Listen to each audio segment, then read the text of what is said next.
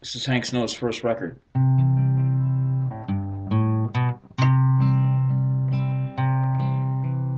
Kind folks, you have heard the story and the song called 21 Years. All of how two lovers parted of this sorrow, pain, and tears. I am another whose heart broken, and I'm in this lonesome jail. I was once an honest ranger, tried for fame, but soon I failed. I was a cowboy singer and I played the old guitar.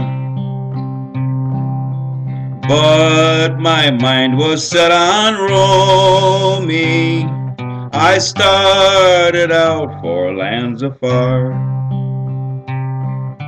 Soon fell in with bad companions and we robbed the southern mail.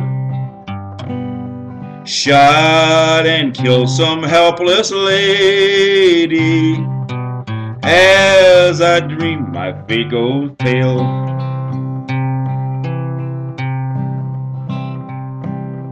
I had a pretty sweetheart and she thought the world of me. But we parted at the station down in sunny Tennessee. Last night from her I got a letter saying she could never be my bride. As the moon shone through my window, I bowed down my head and cried. Nevermore we'll go together down in dear old Lover's Lane. I must spend my life in prison.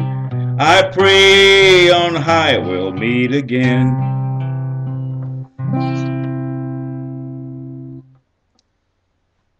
Prison Cowboy, Hank Snow. That's his first recording. It was on the flip side of Lonesome Blue Yodel. Hope you liked it.